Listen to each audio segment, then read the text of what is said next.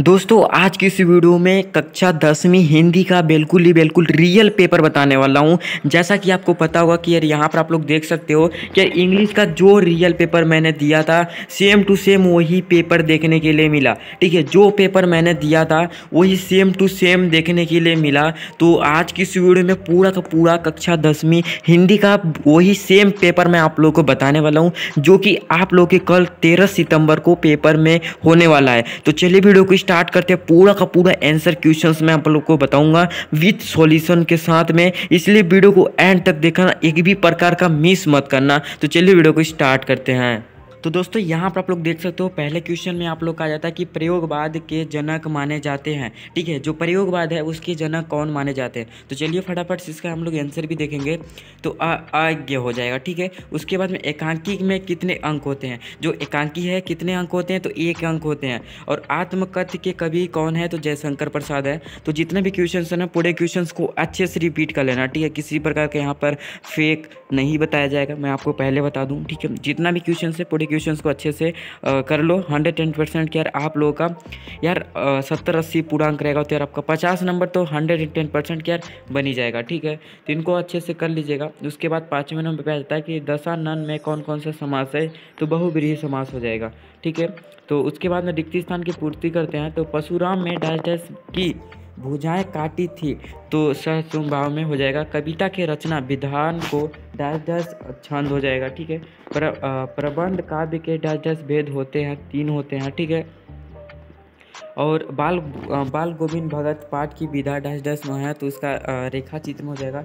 समाज के dash dash प्रकार होते हैं छः होते हैं और गैंग टांग क्या हो जाएगा? पहाड़ हो जाएगा ठीक है? तो इसको अच्छे से आप लोग देख लो। उसके बाद में सही जोड़ी आ जाती है कि सुर के बाद सुर के बाद भ्रम नरक गीत हो जाएगा, ठीक है? काव्य की आत्मा, काव्य की आत्मा रस हो जाएगी और नगर पालिका का कार्य, नगर पालिका का कार्य सड़कें पक्की करवाने देना, ठीक है? और कलम का जादूगर, कलम का जादूगर राम वृक्ष बेनुपुरी था, ठीक है? आँख चुराना आँख चुराना कौन था? आँख चुराना पाँचवा नंबर हो जाएगा, नज़र नज़रें बचाना, ठीक है?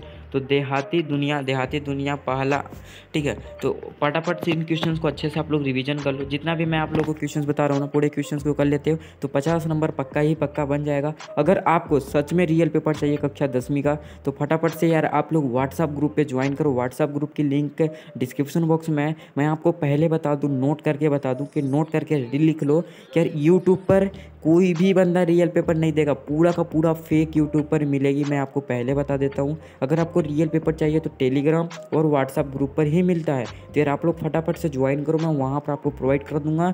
और व्हाट्सअप ग्रुप पर ज्वाइन करा, मेरा पर्सनल नंबर है। नंबर पर मैसेज करोगे, मैं वहाँ पर प्रोवाइड करा दूँगा, ठीक है? तो फटाफट से कर लेना। और ये जो क्वेश्चन है ना, कहोगे कि यार इस क्वेश्चन को फिर क्यों पढ़ूँ? तो ऐसा नहीं है। इस क्वेश्चन को भी पढ़ लो, क्योंकि बहुत ही मोस्ट इंपॉर्टेंट है, ठीक है?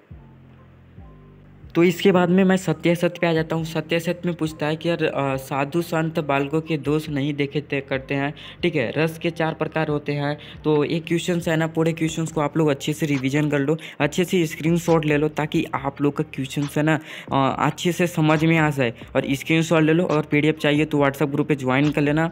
और इन क्वेश्चन को अच्छे से कर लो, बहुत ही इंपॉर्टेंट महत्वपूर्ण है। नई कविता की विशेषताएँ लिखिए। और अथवा दो प्रयोगवादी कविताओं के कवियों के नाम नाम और उनकी एक एक रचनाएँ लिखना है, ठीक है?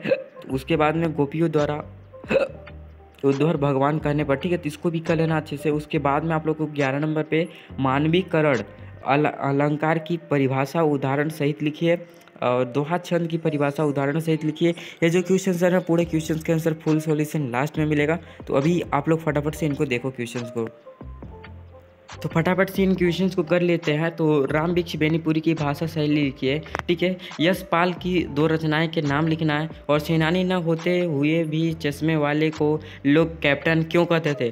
क्यों आ, क्यों कहते थे इसको बताना? तो फटाफट से आप लोग देख लो तेरह चौदह पंद्रह सोलह सत्रह ठीक है? ये जो क्वेश्चन है बहुत ही मोस्ट इंपॉर्टेंट है मैं आपको पहले बता दूँ। इन क्वेश्चन को अच्छे से पढ़ लो कल आप लोग का पेपर है और हंड्रेड टेन परसेंट पास होना है ना तो इन क्वेश्चन को कर लोगे तो हंड्रेड टेन टेन परसेंट की पास तो ज़रूर हो जाओगे। अगर आपको टॉप करना है तो यार आप लोग डिस्क्रिप्शन बॉक्स में व्हाट्सअप ग्रुप की लिंक है व्हाट्सअप ग्रुप पे ज्वाइन करो, वहाँ पर आपको रियल पेपर मिल जाएगा। जिस, जैसे कि बहुत सारे लोग पता होगा कि यार आप लोगों ने दसवीं का इंग्लिश का पेपर देखा होगा ना तो पता ही चल गया होगा कि मैंने सच में इंग्लिश का पेपर दे दिया। और पहले आते थे कि यार कोड बाई कोड आते थे, लेकिन हम ना हर एक ज़िले में एक ही पेपर आ रहा है। तो बहुत ही अच्छा हुआ कि मतलब किसी प्रकार का अलग अलग नहीं है, ठीक है? तो सेम सेम क्वेश्चन है तो सेम सेम मिल जाएँगे, ठीक है? तो आप लोगों को चाहिए तो फटाफट से व्हाट्सअप ग्रुप पे ज्वाइन कर लो और वीडियो को लाइक करो, अपने दोस्तों के शेयर करो चैनल को सब्सक्राइब कर लो और इस पेपर को पढ़ो, इस क्वेश्चन को पढ़ो। बहुत ही मोस्ट इंपॉर्टेंट है।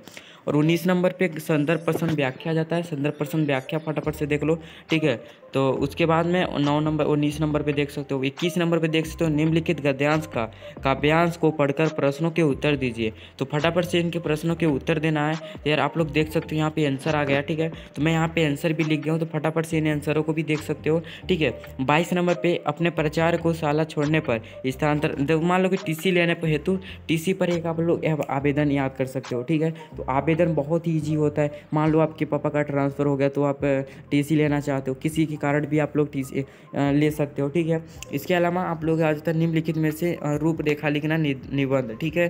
तो इसमें क्या लिखना है कि विज्ञान के बढ़ते ठीक है, वृक्षारोपण वृक्षारोपण याद कर लेना बहुत बार पूछा जाता है। ठीक है, वृक्षारोपण बहुत ही मोस्ट इंपॉर्टेंट है। निबंध इस पर याद कर लेना हंड्रेड परसेंट आएगा ही आएगा। ठीक है तो इसके अलावा विद्या विद्यालय सुधारने वाला है तो इसको भी कर लेना। तो जितने भी क्वेश्चन मैं आपको बताया, पूरे क्वेश्चन को अच्छे से इंपॉर्टेंट समझ कर अच्छे से पढ़ लो। अगर आपको रियल पेपर चाहिए, मैं आपको बता दिया, बहुत पहले से नोट करके बता रहा हूँ कि टेलीग्राम व्हाट्सअप ग्रुप पर ज्वाइन करो, वहाँ पर मैं आपको प्रोवाइड करा दूँगा। तो चलिए कैसे मिलते हैं नेक्स्ट वीडियो में नेक्स्ट कोई टॉपिक के साथ मिलेंगे, तब तक के लिए बाय बाय चैनल को सब्सक्राइब ज़रूर कर लेना अगर आपको अगला पेपर चाहिए तो। चलो मिलते हैं। अभी तक आप लोगों ने लाइक नहीं किया लाइक करो सब्सक्राइब करो शेयर करो अपने दोस्तों के साथ।